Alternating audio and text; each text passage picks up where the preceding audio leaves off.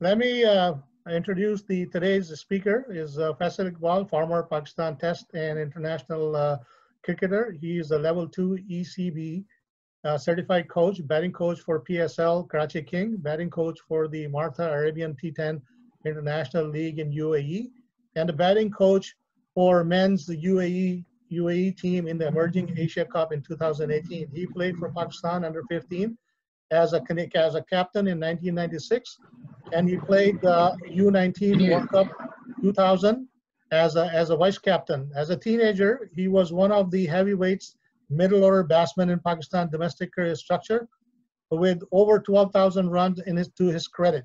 He has played over uh, uh, 225 first class games with uh, more than uh, 28 uh, centuries and 50 50s.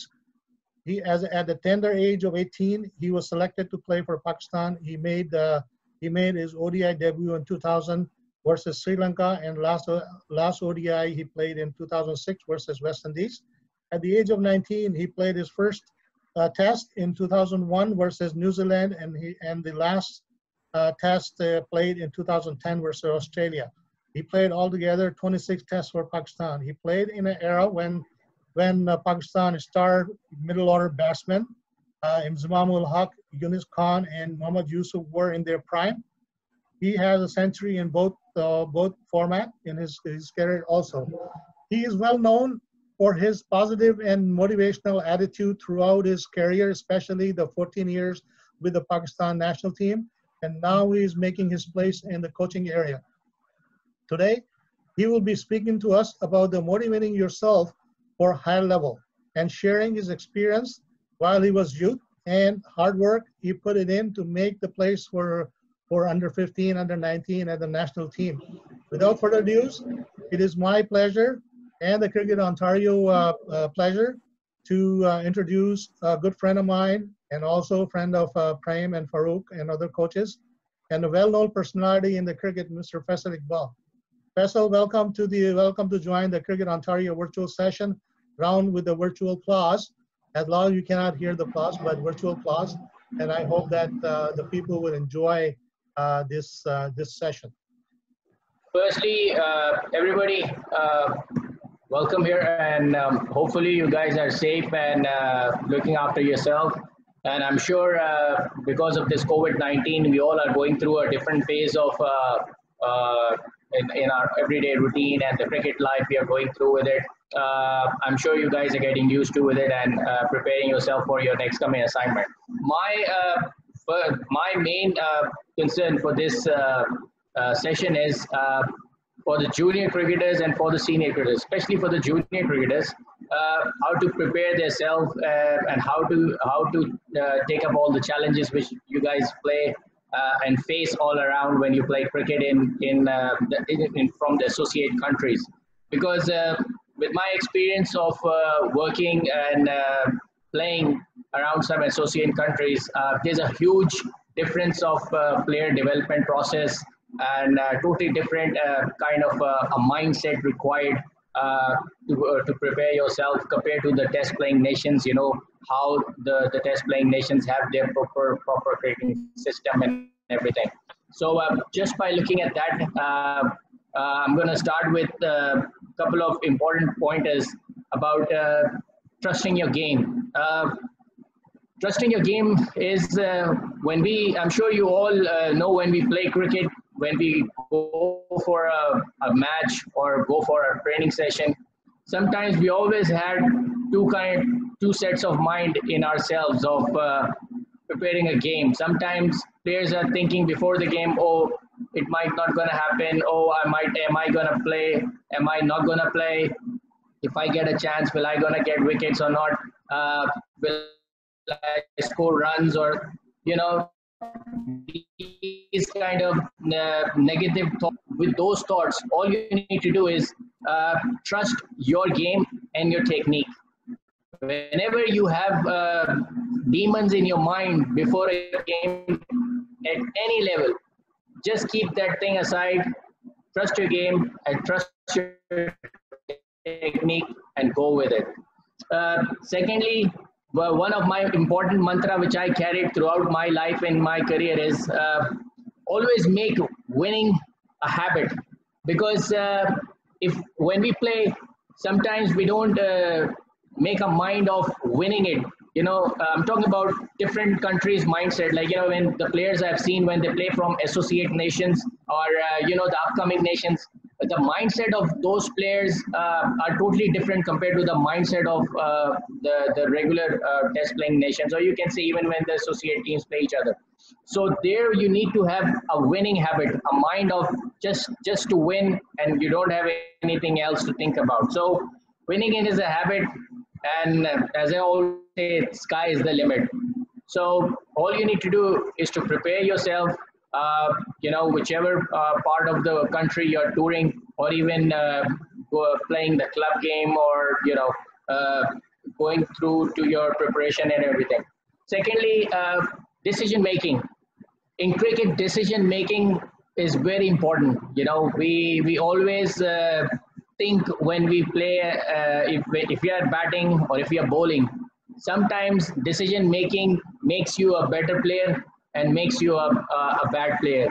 If you are good in your decision making, you will always uh, success. Your your success ratio will always be better than your uh, uh, your bad form and bad days of cricket. So always uh, be good in your decision making. And uh, the, to batsmen, if I want to speak to batsmen here right now first, I can tell them that uh, there's to be a successful batter, you need to be decisive in your making decisions.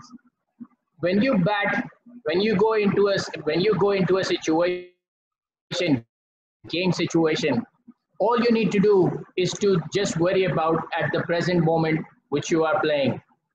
What normally happens a player thinks too much in his mind and forget about the plays game and you know and then uh, have an unnecessary pressure on himself. And that unnecessary pressure will you know give uh, won't get the best out of you in your uh, game in your match preparation or whatever you had in your in, in, in your process of developing. So uh, this has always been one of my important uh, aspects of uh, preparation decision making then i come to a point we say when you're batting, at times you always think of which ball to hit and which ball to defend. So I always say when you're playing, you need to go with one set of mind or attack. If you go in a confused state of mind, neither you will do an attacking, uh, neither you will play in an attacking mode or neither you do a play in a defensive mode. So all you need to have is one set of mind. Defense, defense, if you're attacking, then attacking. Assess the situation, which has always been the most important part uh, in a game plan. Assessing a situation. Once you are in the field, as a bowler, all you need to do is to watch your field. I've always seen that myself as a captain that sometimes a bowler doesn't know where his field is and uh, before looking at his field he just he's just bowling. And suddenly a batsman hit in in those areas and then suddenly the bowlers is looking at the captain or you know looking at the fielder and saying oh he wasn't at this place where i wanted. He's standing at the long wrong position so just to uh, uh, stay away from that problem i will ask all the bowlers before they even start to bowl always look at their own field. Always see whatever which side of the wicket they are thinking of bowling. Have a discussion with the captain if he's standing with you uh, at mid off or mid on uh, adding adding into this conversation i will always say to the captains if the captains are there. They should not field away from the bowlers. The most uh, uh, uh surrounding field to be uh, for a captain is either he should be at covers short mid wicket mid off or mid on if they are inside the ring. So a captain should always make sure be around uh, the bowlers and just be there to guide them. And for the bowlers, I will say, before you bowl, before you plan anything, always stick to your plan and don't change at the last moment because you always see whenever you change yourself at the last moment, that's where the problem uh, starts to come up. So as a bowler, look at your field first, bowl yourself, and just stick to your plan. Same goes with the captains. When the captains are there in the field, all the players who are in the field should look up to the captain. Um, this is a problem which we face not only in junior cricket, this is a problem we normally face even in uh, first class cricket as well, list A cricket as well. We find lots of players who don't have a good uh, basics of fielding uh, are normally either daydreaming somewhere around in the ground and you know uh, they're not focused and suddenly a catch gone there or run out gone there and then they missed it and one of those crucial moments you know change the game for the team so the basics of uh, bowling right now is to be uh, alert with the captain and captain have to be alert with the with the fielders. Then i come up to the wicket keepers. To me wicket keepers play a very important role in cricket. They, why we always say the wicket keeper is a backbone of the team? Because if a wicket keeper, you have you have seen great wicket keepers all around the world. They are constantly chatting. They are constantly talking. When a bowler is bowling, you all the time hear them what they are saying of uh, you know motivating the bowlers and motivating the team. So a wicket keeper is a backbone of the team, and his job is to make sure that he see everything all around the ground when we are when the team is bowling and fielding it gives a, a lot of satisfaction to his captain also and to his bowler also a communication with the wicket keeper and the bowler also plays an important part uh, in, in a game and also in a development process. Once a keeper knows what his bowlers are bowling and once a bowler knows that his keeper is there to uh, uh, to understand what he's bowling. If I if I take as a spinner, sometimes lots of wicket keepers cannot pick up spinners, googlies, flippers, or if they are off spinners, the straighter ones, or if they are a left arm leg spinner, sometimes they just miss the, the arm ball and just stay in the middle at the back and ball goes from the leg side to the boundary. So the communication between the bowler and the wicket keeper is also very important. And uh, I, I can only tell to all the bowlers that if you have a good communication and a good friendship with wicket keepers, uh, this will always help uh, a lot to uh, a team uh, for their preparation as well. Then I come to the batsmen. Batsmen from opening till lower middle order. In today's world of cricket, even the lower middle order needs to be a good batsman.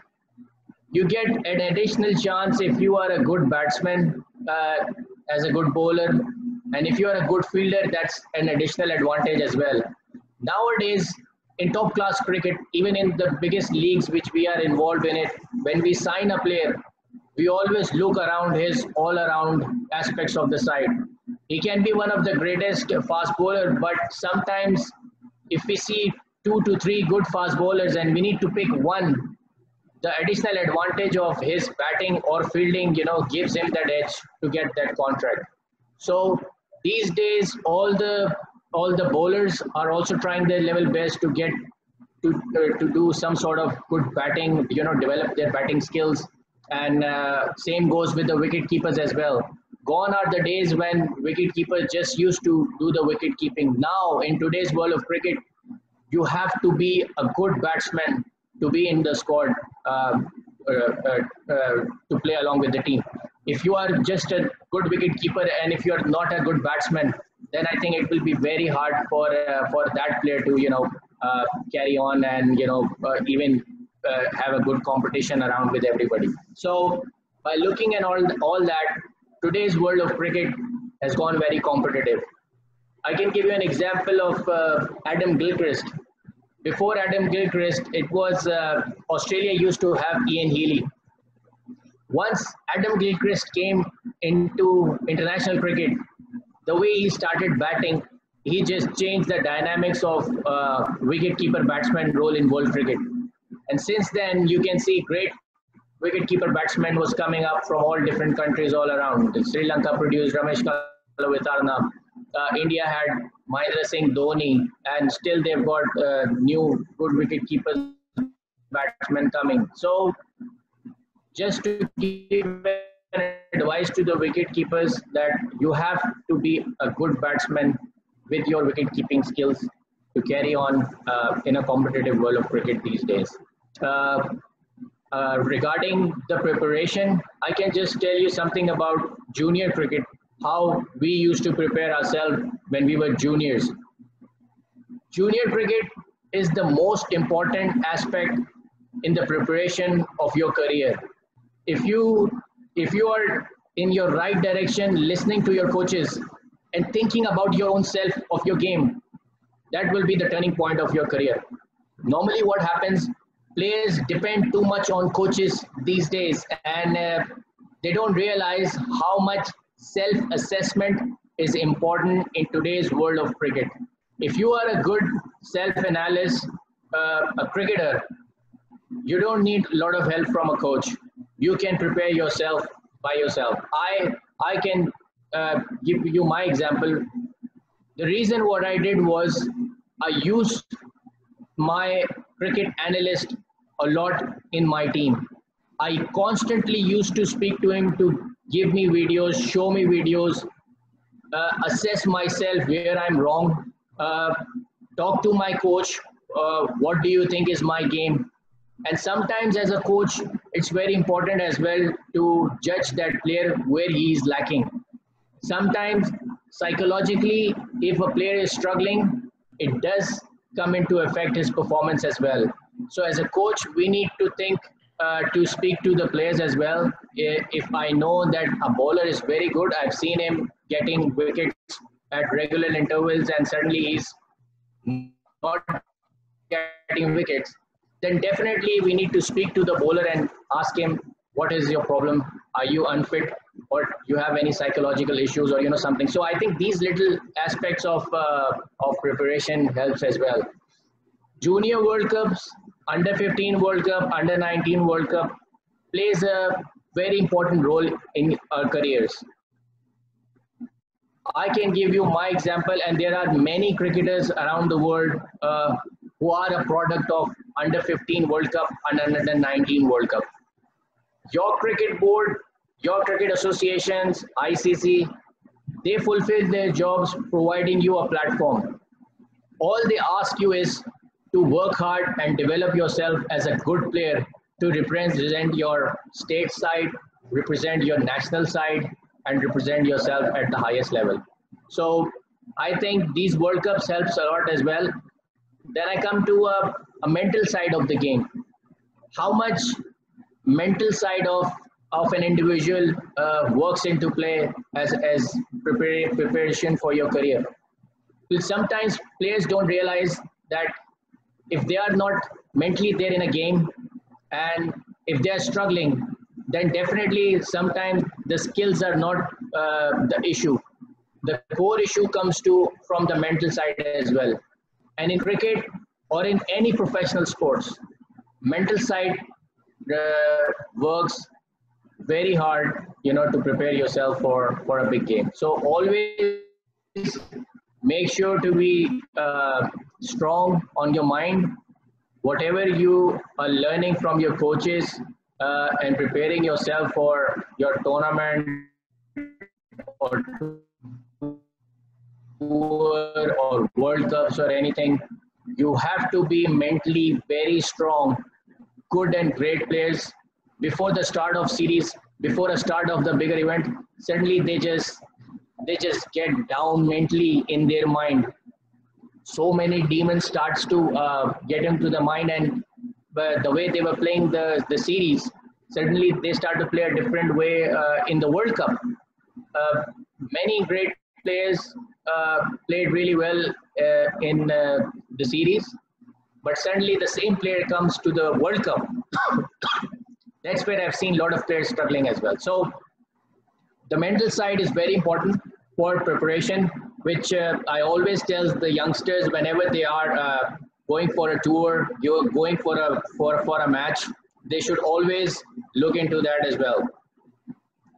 Important one more important point: dealing with pressure. The mental side also comes into dealing with pressure situation comes as well whenever we are dealing with pressure, that's where the time when mental toughness comes in. And mental preparation, whichever you've done uh, as a bowler, as a batsman, as a wicket keeper, that comes into play, all goes through your mind as well. So you have to be very strong.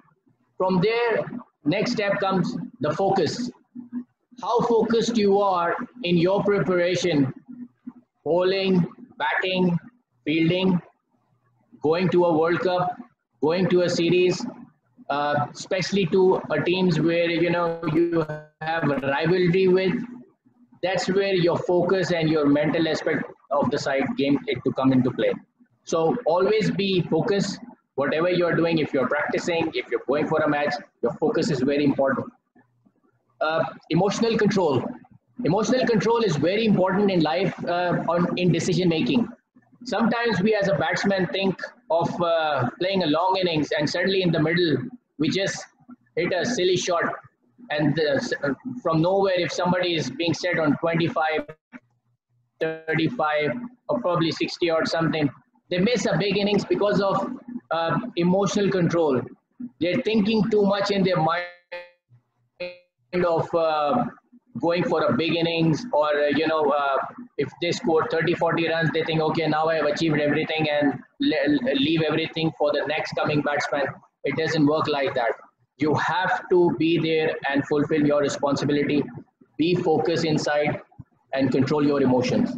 So this this was I it, emotions played a really important part in my career because uh, you always want to hit a bowler out out of the park, but you can't do that all the time because he is thinking as well and he has got ball in his hand too.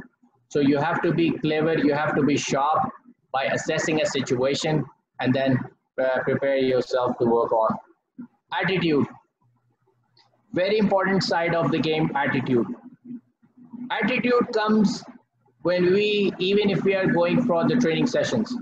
Sometimes uh, we go to the nets and we are thinking, oh, we are we've been practicing every day. We are doing the same thing every day. You know, I'm tired of doing everything the same day. I need something else.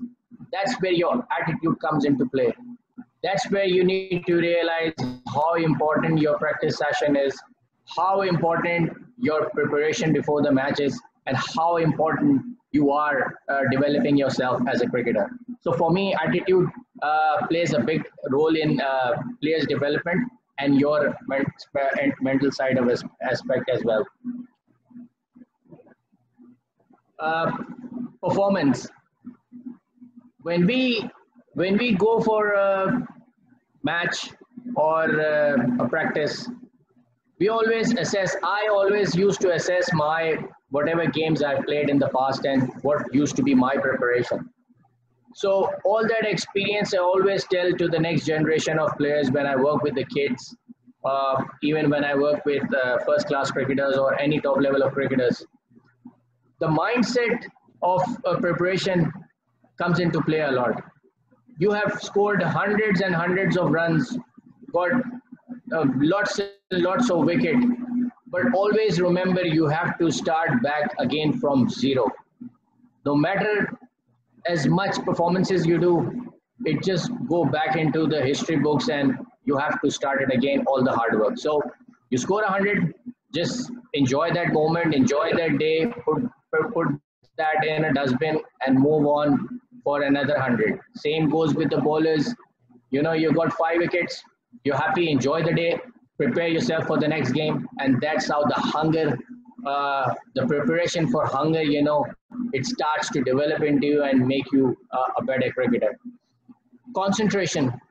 You must have heard the great players, they always used to say, great players have great concentration. What is concentration? Concentration is something when you are playing, it also a very important part of your mental side as well. If you are a good player uh, and have a good concentration level of playing, you can play at any form of cricket. Either you can play T20 cricket, uh, longer version of cricket.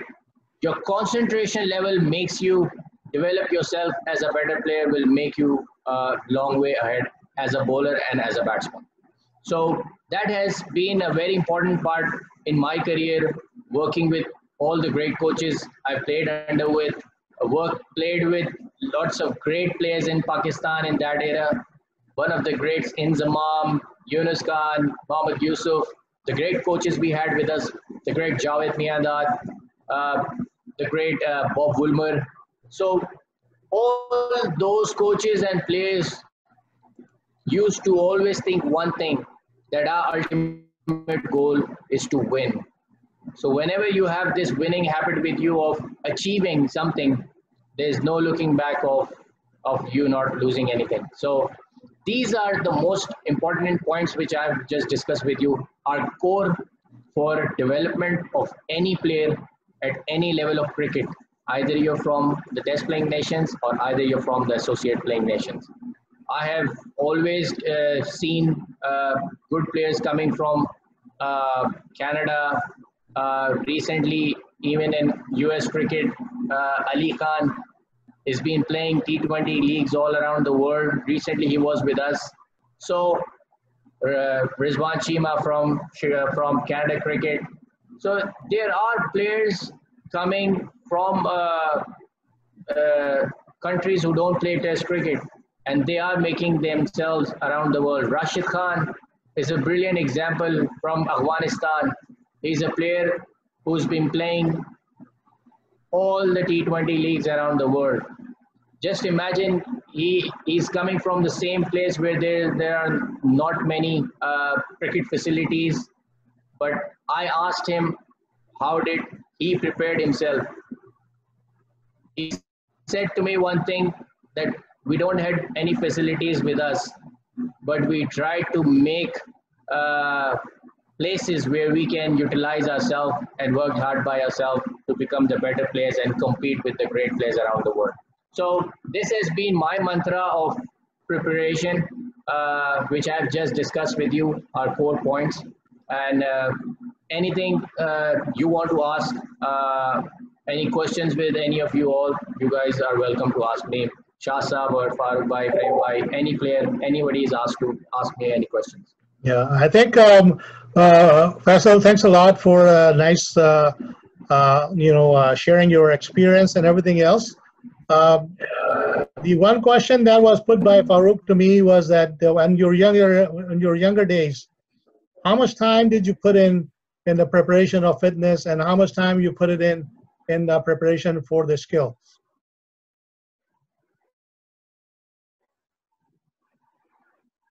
Did you hear me?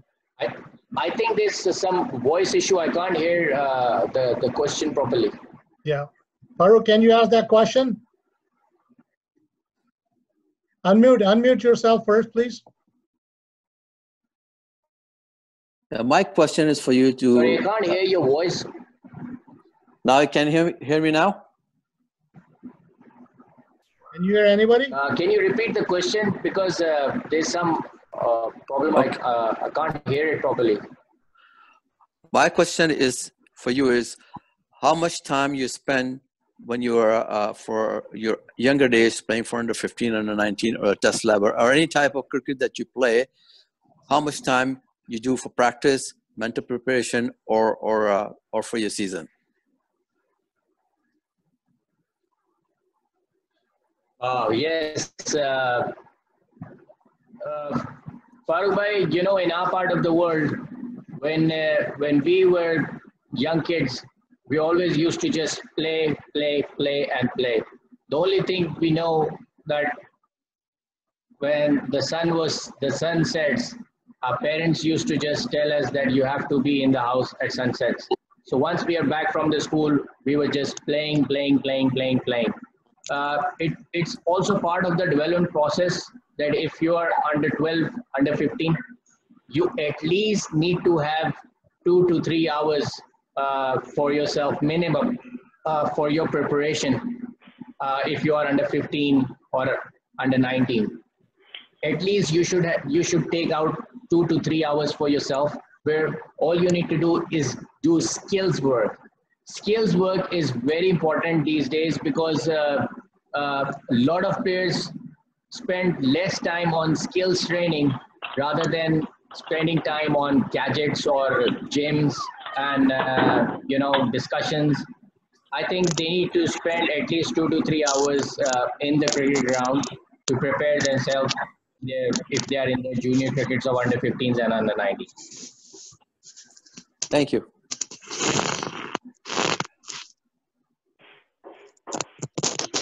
Anybody else has any other questions, uh, please, uh, please ask at this time. Unmute your, uh, un- unmute your uh, uh, audio and uh, please uh, ask question.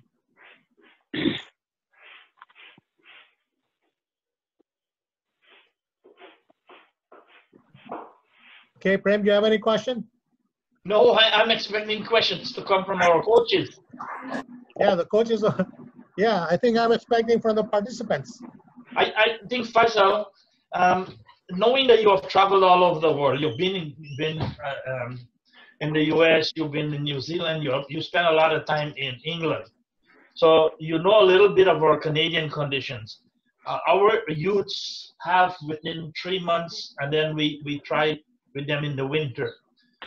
What would you advise them uh, to, to focus on when they have finished our winter camps, they're coming out into the summer, they're going into the league cricket, they're changing from one format into the next. How do you advise them to carry across what they learned in the winter programs into their actual games? Uh, I think for that, this is this is this is an issue, uh, a global uh, issue. You can say not an issue, a global thing which happens everywhere around the world with kids. Uh, because there's a season and then there's an off season. So some of the kids, what they normally do in off season, they, they just play cricket in indoors or uh, you know they uh, uh, i don't know how much backyard cricket is in canada because backyard cricket is something you can even play uh, in your off season as well with your uh, uh, friends or brothers and you know in your family so if, if there's a possibility of backyard cricket you know there's always there otherwise there's indoor cricket and if you have played some good cricket where you have got the the video analysis done of your games. And if you have those videos with you of your own games, the way you have played, you can constantly watch them, assess them, uh, talk to your friends about it, uh, about your game. You can talk to your uh, batting partner or a bowling partner. You can constantly be in touch with your friends, like a, probably a WhatsApp group or something like that, where you can share your ideas of uh, cricket. It's all about uh, talking cricket in that in that period of time. As much as you get involved and keep yourself busy uh, in cricket, whichever uh, time you can get in a day, uh, you will be uh, very fresh once you are back into your season. So problem is once the season's over, you know there's a there's no cricket, then you get rusty when you don't think about it and when you don't play. So wherever you get a chance, just play a little bit and think about it watch yourself. Even by visualize visualize playing helps a lot developing as a player. So if you can visualize yourself playing practicing in the nets uh, anything you know you're, you're, playing you will keep yourself motivated and it will help you out. So i think uh, you know that off season if you try to keep yourself find some place somewhere or the other just to keep yourself playing you will definitely be better person better player not rusty once the season gets started. Okay. Thank you, Faisal, for your uh, time uh, and uh, nice presentation on behalf of the Cricket Ontario. I know you are meeting at uh, 3 o'clock, another conference call, and I will not take much of your time. And I much appreciate for you to joining us today and sharing your experience. And I hope that everybody on the call have learned something from your talk. This talk will be uh, we will be publishing this on the YouTube, so uh, more people will be watching it. So thanks a lot again, and we much appreciate it for you to join us today. Thank you very much, Asaf, and uh, thank you very much. All I'm gonna say, uh, uh, thank you, Kermani Bhai, Prem Bhai, and everybody. Uh, just before going, I just want to tell all the players who are listening to me that make sure once you are there in your preparation work as much hard as you can and enjoy the cricket which you are playing. Enjoy your training. Enjoy your time. If you don't enjoy what you're doing you will never going to succeed. So always enjoy whenever you are playing and doing anything. Thank you very much. Thanks Faisal. bye